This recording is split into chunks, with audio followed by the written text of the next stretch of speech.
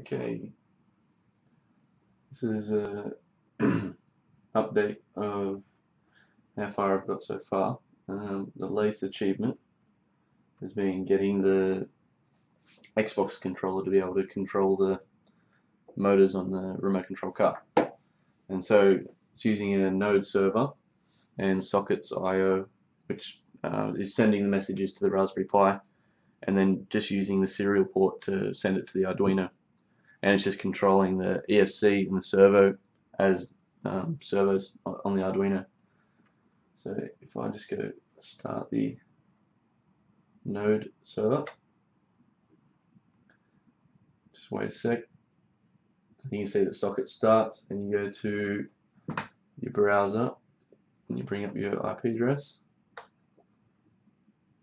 And so this is the web page that it's hosting. And so it says connect your controller and press any button. So press any button and it detects the controller. And then I'll bring it in.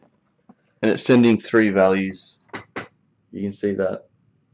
It's sending three values via sockets to the Raspberry Pi, which is what's being forwarded to the Arduino. So if I move any of my axes, like this, the ESC is a, oh, I need to put the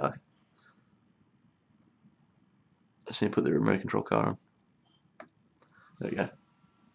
So if I go back and forth with this,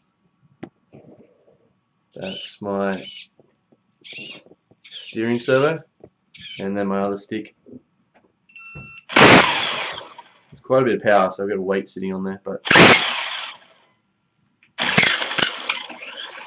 as you can see, I've got full control So yeah, so soon I'll get some motors for my ROV, but that's the first step to test the concept. Cool, thanks.